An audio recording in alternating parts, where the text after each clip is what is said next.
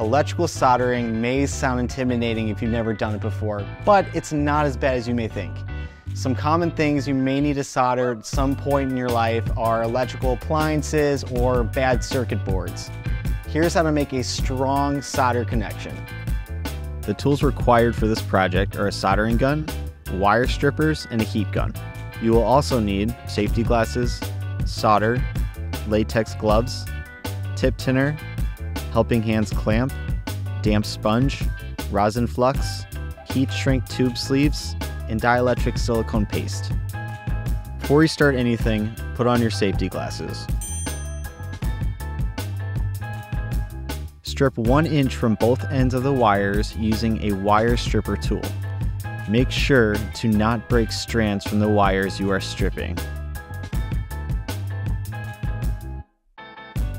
Cut a new heat shrink tube sleeve with scissors so it's slightly longer than the open wires you'll be soldering together. Slide the sleeve over the metal wire until it is completely out of the way.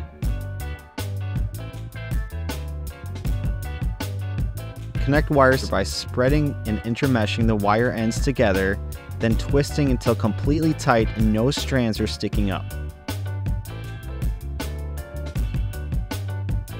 Place wires into a helping hands clamp and with latex gloves on, completely cover wires with rosin flux.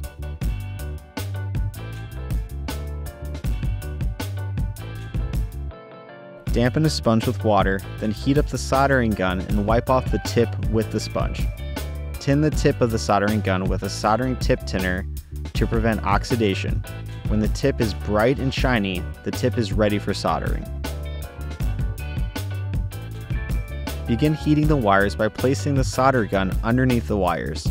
Apply solder above wire so the solder is fed to the top and not the bottom.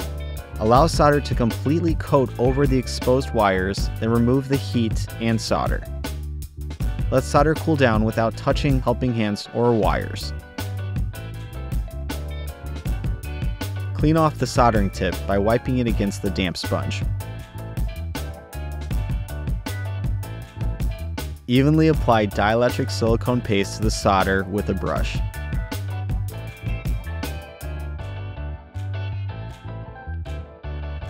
Slide the heat shrink tube sleeve over the solder and begin heating the sleeve with a heat gun.